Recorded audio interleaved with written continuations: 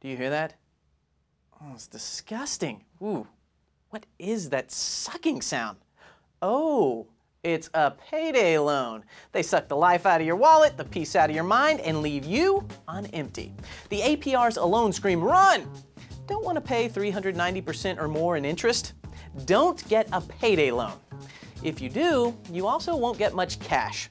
Most loans are capped at small amounts, like $300 to $1,500, and you'll be required to pay it back quickly, usually by the next pay period. It's short-term thinking with long-term dangers. You'll pay and pay on those loans and never touch the principal. It's a payday, all right. For the loaner, not you. It won't help your credit score either, because most payday loans aren't reported to the credit union. A smart loan charges a reasonable APR versus a ridiculous one. It helps build a desirable versus destructive credit score. But you have options.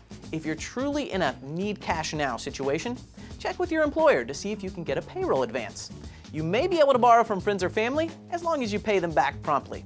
And consider selling some items on Craigslist or eBay. Most of us have stuff we don't want or need.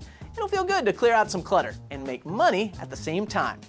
Don't get sucked into payday loans? Come see us at Amarillo National Bank and find a better solution.